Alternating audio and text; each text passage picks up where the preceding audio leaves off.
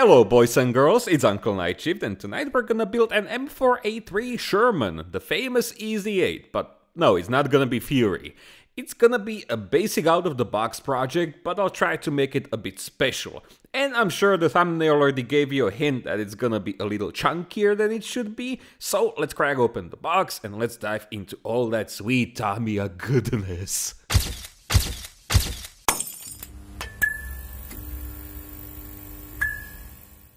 My friends, it's about time we built something that originated in the good old US of A.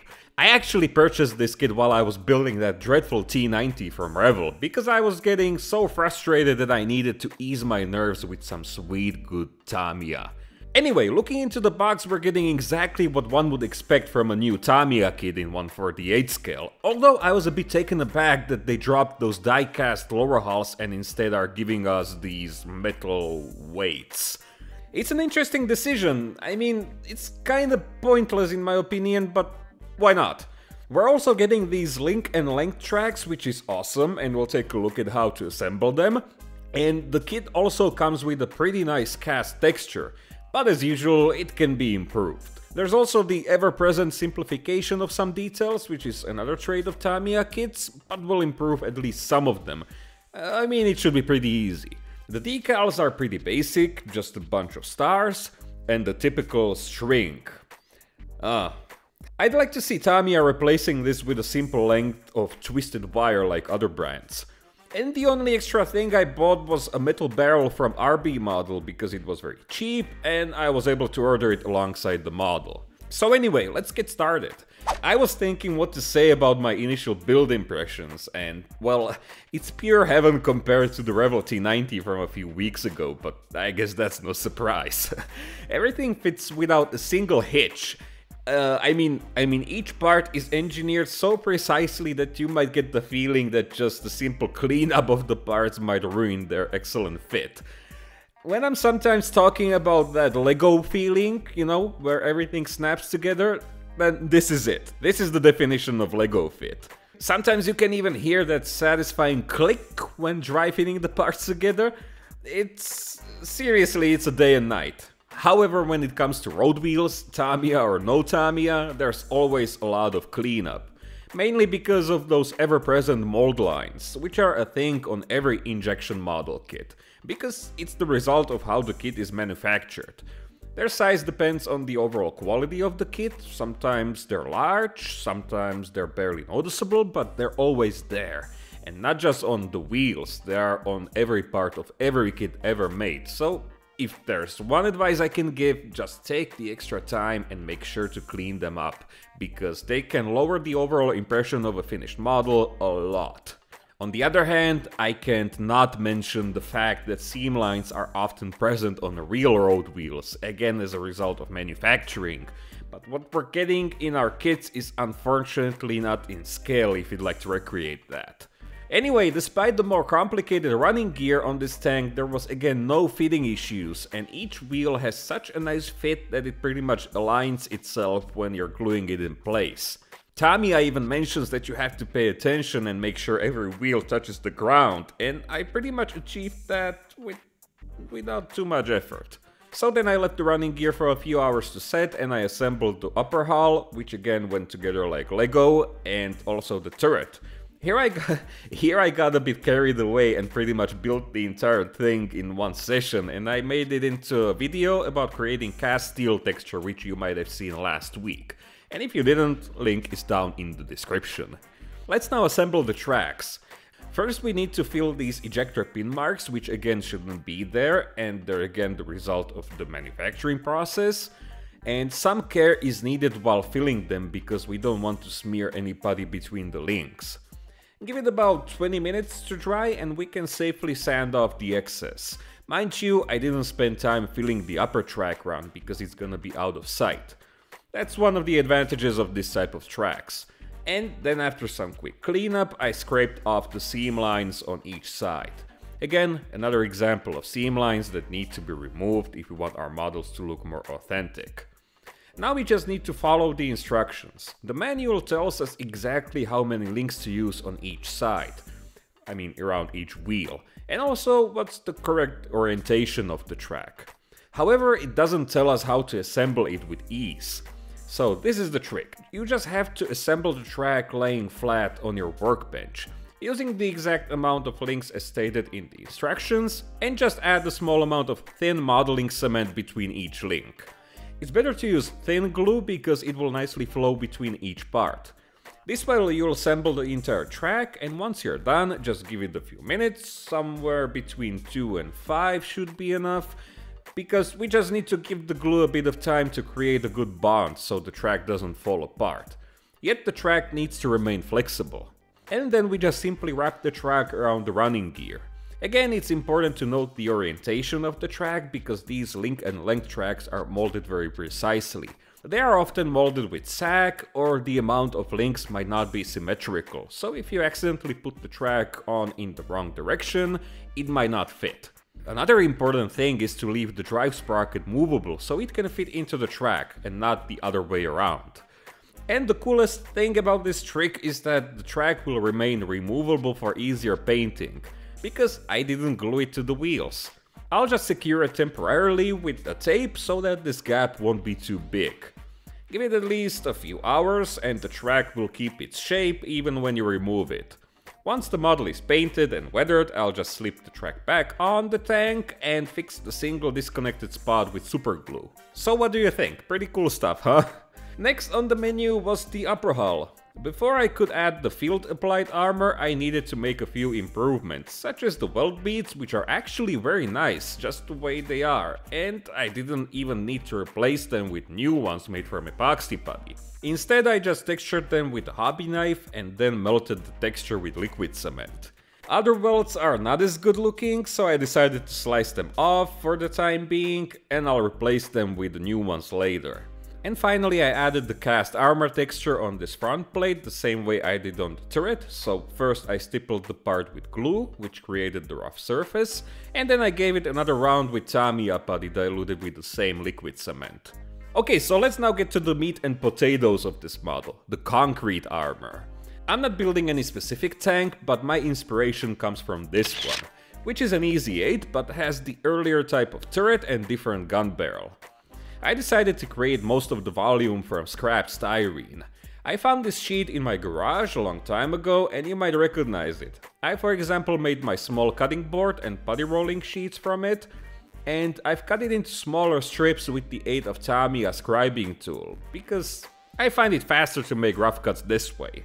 Then I traced the approximate shape of the hull onto it, and after cutting three identical pieces for each side, I glued them together and then glued them to the hull. The front plate has the more complicated shape and I also needed to remove a bunch of things to make the process easier. I also scratch built those small fender braces from styrene because they were missing in the kit, and I also added the obligatory wooden beam which is often seen on Sherman tanks. In this case, I'll have to build up the volume from several smaller pieces of plastic, and for this purpose I dug out my cutting tool called the Chopper. I bought it a long time ago on eBay, and it cost me around 40 bucks and I paid the same amount for shipping. I know, what was I thinking? Well, it definitely saved me a lot of time on this project, because I was able to make lots of identical strips in a matter of seconds, which I then glued individually to the front plate. The cool thing about the chopper is that we can cut and use even the smallest offcuts, so no plastic will go to waste. And finally we can cover this modern art piece with epoxy putty. I didn't want to waste my favorite Tamiya epoxy for this, but unfortunately my stocks of Magic Sculpt are running low. That's the reason why I made most of the shape from plastic. But still, I ended up using quite a lot of it, because it dries quite fast, so I was never able to use the entirety of it and the rest, which was getting too hard to work with, had to go into the trash bin. But anyway, I started by filling every large hole which I wasn't able to close with styrene, and I also used this step to create the basic form of the concrete, for example all these rounded sections at the front. The fast drying type of this putty had one advantage though. By the time I was done with this step, it was already hard enough that I could start adding another layer. Even though the one reference photo shows the travel lock was left to move freely, there are other instances where it was buried under the concrete. or sandbags, or in some situations, a mixture of both. And like I said, by the time I was done filling the large holes, the putty was already hard enough to get it covered with another layer, so I mixed another batch of putty and this time I spread it in a rather even layer over the entire surface. This layer will determine the final shape of the concrete armor, so I was trying to be pretty neat. Of course, this modification was done in the field, and I'm sure it was done by the crew, not even by field mechanics, so it definitely wasn't perfect, but at the same time, I think it's important to... Well, the most obvious thing is to follow reference pictures, again, quick check, but also keep in mind that while it was done in the field, with hand tools, and definitely in a rush, it wasn't done by Neanderthals. okay, so I think it shouldn't be all over the place and too messy. That's also why I used this old dentist tool. It works like a small scale trowel. But the overall texture was quite smooth, and I didn't have time to make any rough impressions in the body because it again dried faster than I could get to it, so I mixed some Tamiya putty again, but this time I didn't use as much glue as I normally would, and I stippled it over the entire surface. This time I was intentionally going for the roughest and most grainy surface I could make, but at the same time I tried to create some variety. For example, the sides were probably cast using wooden planks or pieces of scrap metal, and while I wasn't able to create that specific texture with visible lines where the planks were, I at least made the concrete texture a bit smoother here. And as soon as I was done, I forgot to give you an overall shot of the result because I was in a rush to continue on the hull. Sorry. And well, here I drilled out the missing drainage holes on the extra armor plates and because I'm dumb I drilled this one in the wrong position. but it was easy to fill it with Tamiya epoxy putty, the same which I then used to create the missing weld beads. Let's now take a look at how to replace these molded on grab handles. I recently bought a set of modeling chisels and they are excellent for removing small amounts of plastic just like in this example. So I removed most of it, most of it, not all, because I used the remnant as a guide to drill out two holes for the new handle. I marked them with a needle, which then worked as an anchor point for the drill bit so it wouldn't stumble over the entire surface. And then I removed the remaining portion of the original part and cleaned any fuzz with a bit of Mr. Cement S. After measuring the original handles, I bent new ones from 0.3mm copper wire and I used a pair of surgical forceps as a bending tool. It gets continuously wider and it has these small teeth inside which act as a guide, so it's excellent for precise bending. And obviously not only for precise work, but also for making numerous handles which are gonna be exactly the same. Then I fixed it in place with two different CA glues. The flexi one from VMS because it's very strong and it cures pretty much instantly, and then the black one from MX which dries slowly, but it works great as a filler. Once they were dry, I removed the excess with super superglue debonder, which dissolves superglue but doesn't damage styrene. And to make sure there were no visible gaps, I gave it a quick round of diluted Tamiya modeling putty, which I then again cleaned up with debonder. There were also a few missing details which I could make with the punch and die tool from RP Toolz, mostly some axle details on hatch hinges and also a few bolts on the rear engine plate. But one thing that bothered me quite a lot was the missing strap detail on the engineering tools. Well, luckily enough Shermans didn't have any sophisticated clamps, but just good old simple leather straps, and even though they'd look better if they were made as a photo etch detail, I think using pieces of Tamiya masking tape which I've cut to around 1mm white strips is gonna be good enough. By the way, sure, there are photo etch detail sets available for this model, but I wanted another out-of-the-box build, so I purposely chose this subject. As you can see, the strap tie downs are again molded as solid blocks on the hull, but I didn't feel like replacing them would help too much, so instead of using a single length of tape, I've cut it into several smaller lengths and I basically built, so to say, the strap from them. I wasn't able to find a good historical photo showing them up close and the only photos I found were from restored tanks. and each one had a different type of strap, so I decided to take a simple way out and added a small circle punched from tinfoil to act as a button on top. I know, it's not 100% accurate, but I think it's good enough. The biggest benefit of a photo etch set on this model would be having in-scale headlight and taillight covers. Luckily, the headlights are hidden under a layer of concrete and these taillight covers are very easy to make from strips of copper sheet or aluminum sheet or whatever, because we can use the original kit part as a template and bend the replacement parts over it. It's one of those things that looks very hard, but once you commit, it's surprisingly easy. but I guess it was too easy because at this point I spilled my beloved debonder. Well, if things seem to be too good to be true, ladies and gentlemen, they usually are. Anyway, at this point the tank was pretty much done, but what kind of Sherman it would be without some stowage, right? well, it seems like it's time to face my stowage phobia. so I bought the 148 scale jerry can set from Tamiya and I used a few jerry cans from it, alongside some 3D printed stowage, most of which I've 3D modeled myself, such as those ammo crates, 30 cal ammo cans, and also the petrol canister. These were again printed on my Anycubic Photon, and another thing I'm gonna try is Paper Shaper from VMS. Well, that and also their dedicated paper to make tarps. This paper is about 50% thinner than regular office paper and it isn't fuzzy. You know, it doesn't have that fuzz most papers have. So after cutting it to size, I soaked it with paper shaper. yeah, it rhymes. and it's an interesting product because it acts as glue, but at the same time it softens the fibers to a point where the paper doesn't even act like, like paper. It becomes very flexible. That means we can crumple it any way we want, but it won't look like a huge pile of horribleness. The stowage was attached with superglue, and I used a few historical photos of Shermans as inspiration for this.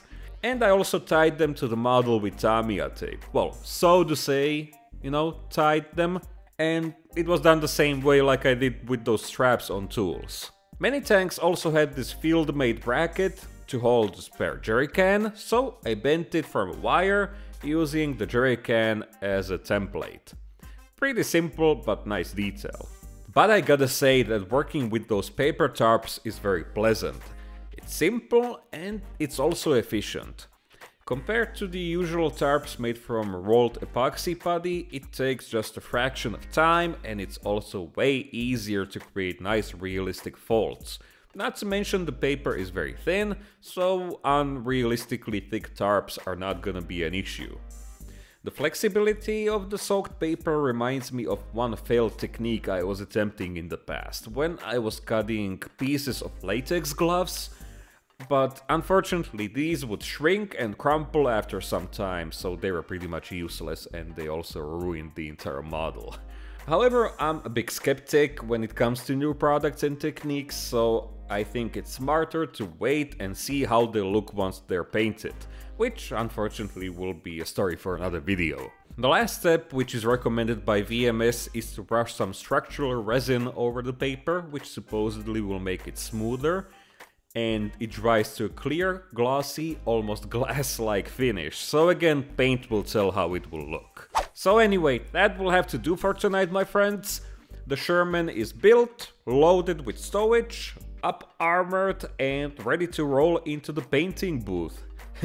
so, if you wanna see how it'll look with some paints and some initial weathering, make sure to drop by the next Friday. And as always, I hope you found something useful in this video, or at the very least found it entertaining to watch. And of course, I owe you a big thank you for watching all the way to the end. Also, I couldn't forget to mention my amazing patrons who make this weekly show possible, and if you'd like to get some extra exclusive content, you might wanna consider joining them, because I'm posting there almost every day when I'm working on models, so the whole Patreon feed is almost like a behind the scenes blog, you know, documenting each project in real life. But there are other goodies as well, like one week early ad-free videos, very big and very nice photos, like the ones you're seeing right now, and also a cool little function called direct messages, so we can get in touch. So if that's something you'd be interested in, then don't be shy to check it out, because it all starts at only $1 a month all the way up to $10 a month. And each tier comes with a different package of rewards. Anyway, I think that's all I have for tonight, so thank you again my friends, I hope you have an amazing weekend, and as always don't forget to give the video a like if you liked it, or a dislike if you didn't like it as much, and I'll see you mates in the next one. Cheers!